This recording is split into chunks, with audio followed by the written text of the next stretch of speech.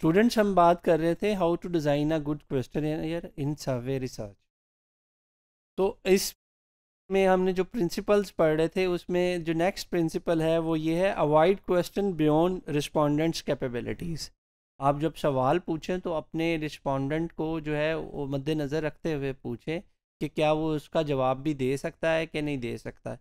For instance आपने अपने respondent से एक क्वेश्चन पूछा है two years ago how many hours did you watch T V every month so this is a difficult to answer अगर आप इस पर्टिकुलर क्वेश्चन को देखें तो ये एक कॉमन रिस्पोंडेंट के लिए मुश्किल होगा इसको आंसर करना।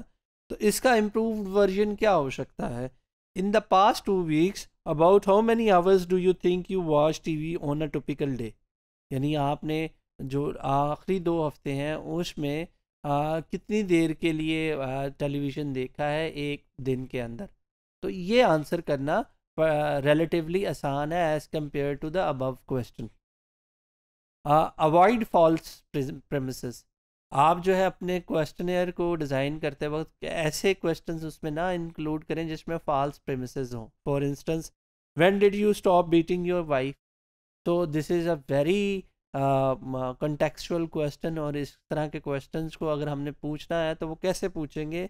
Have you ever slapped punched or hit your wife so this is the appropriate way to ask such type of a question you have to avoid asking about distant future intention as well जब आप question या design कर रहे हैं और आपने कोई future related कोई चीज़ पूछनी है तो उसमें भी आपने बड़े उसको uh, देखते हुए पूछना है। इसकी एक एग्जांपल देता हूँ। For instance after you graduate from college get a job and are settle will you invest a lot of money in the stock market तो इसमें बहुत सारी चीज़ें आपने एक क्वेश्चन में डाल दी हैं कि आप जब कॉलेज से ग्रेजुएट होंगे, आपको जॉब मिल जाएगी और आपके पास सेविंग होंगी तो क्या आप जो है मार्केट में जो है में इन्वेस्ट करेंगे कि नहीं करेंगे? तो ये काफ़ी आप जो है फ्यूचरिस्टिक क्वेश्चन को पूछ रहे हैं। अगर हम इसका इम्प्रूव्ड वर्जन देखें तो ये कुछ इस तरह हो सकता है। Do you have definite plans to put some money into the stock market within the coming two months so this is the appropriate way to uh, check the intention of any respondent about the investment in stock market. Uh, you have to avoid double negative as well when you are designing a questionnaire.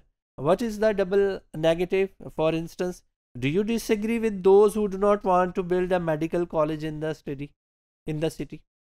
कि आप क्या उन लोगों के साथ disagree करते हैं जो जो है शहर में एक और मेडिकल कॉलेज नहीं बन, बनने देना चाहते।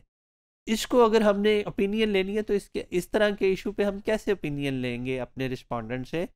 There is a proposal to build a new medical college do you agree or disagree with the proposal आप पहले प्रपोजल बताएँगे फिर रिस्पोंडेंट से पूछेंगे कि वो इससे एग्री करता है या डिसएग्री करता है। इसी तरह you have to avoid overlapping or unbalanced response categories जब भी आपने रिस्पोंडेंट का आंसर लेना है तो उसमें आपने उसको balance set of response categories देना है। इसकी आपको एक एग्जांपल देता हूँ, जैसा कि ये है। Did you find the service at our hotel to be outstanding excellent superior or good तो ये वन साइडेड रिस्पॉन्स कैटेगरीज हैं सारी। इसमें आपने नेगेटिव साइड वो उसकी जो है, वो रिस्पोंडेंट से पूछी नहीं है। तो इसका इम्प्रूव्ड वर्जन क्या होगा? Please rate the service at our hotel outstanding very good advocate और पुअर तो ये एक balance set of response categories है। तो क्वेश्चन को डिज़ाइन करते हुए हमने ये जो दो मॉड्यूल्स में कुछ प्रिंसिपल्स पढ़े हैं, आपने इनका ख्याल रखना है और अगर आप इन प्रिंसिपल्स को फॉलो करते हैं तो आप एक अच्छा क्वेश्चन डिज़ाइन कर सकते हैं।